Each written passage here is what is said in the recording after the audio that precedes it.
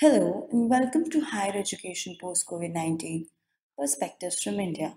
This series is presented to you by Participatory Research in Asia, an Indian based civil society organization.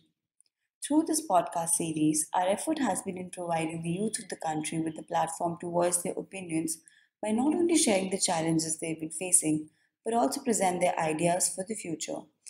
In this final episode of the podcast series, we will be reflecting upon the issues and concerns raised by young students and professionals in the previous episodes.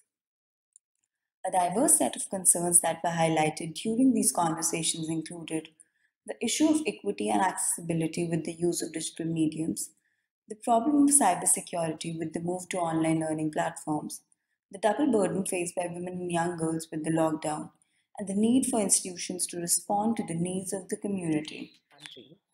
After a transitory setback with lockdown, institutions have adapted to the new normal.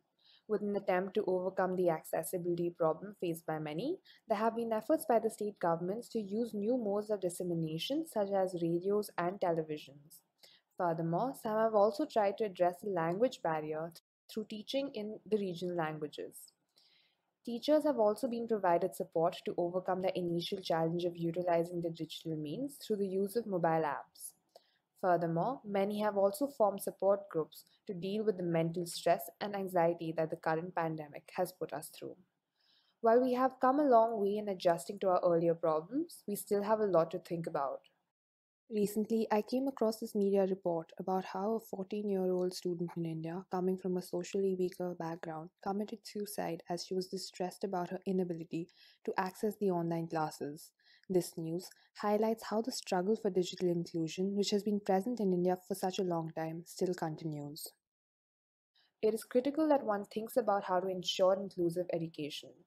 As right to education is a basic right which each one of us in this country deserves. Both policymakers and institutions need to join hands to think of how one can actualize this.